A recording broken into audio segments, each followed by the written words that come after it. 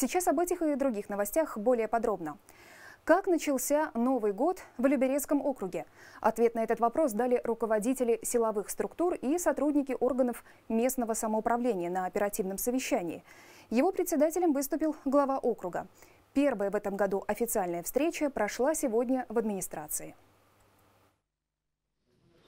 За две недели января за помощью в местное управление МВД обратились две с половиной тысячи человек. Более 200 жителей попали в ДТП. Двое из них пострадали. Полицейские возбудили 35 уголовных дел, 28 раскрыли по горячим следам.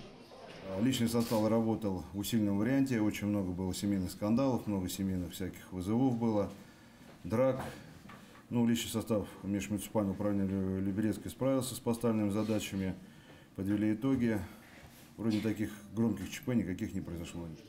На совещании не только подводили итоги, но и говорили о планах на ближайший год. Так, за 12 месяцев коммунальщики капитально отремонтируют 132 многоквартирных дома, установят 130 новых лифтов в 39 МКД. Продолжит работу программа «Мой подъезд». В ее рамках преобразится более тысячи входных групп.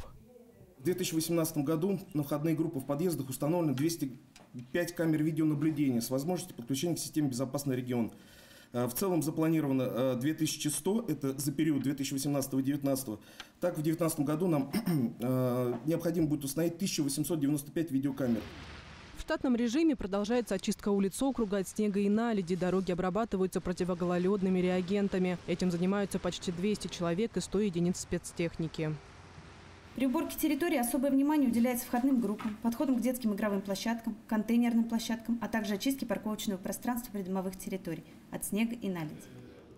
Качество работы коммунальных служб устраивает не всех жителей округа. Об этом они сообщают в администрацию. Чаще всего поступают просьбы о своевременной очистке дорог, тротуаров, дворовых территорий, кровель от снега и наледи, вывозе мусора, ликвидации несанкционированной рекламы.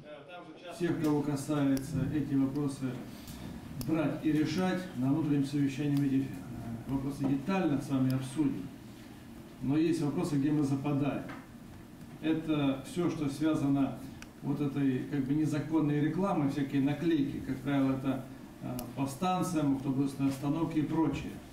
И, конечно, все, что связано э, с вывозом, скажем, мусора. Понятно, что зашел оригинальный оператор, ряд вопросов где-то решено, а ряд вопросов как бы есть определенные нестыковки. Кого-то касается, фиксируйте и устраняйте. Также особо отметили то, что Люберецкий округ стал одним из девяти муниципалитетов, лучше других украсивших свои территории к Новому году. Дарья Борисова, Валерий Абсалямов и Петр Пономаренко, телеканал ЛРТ.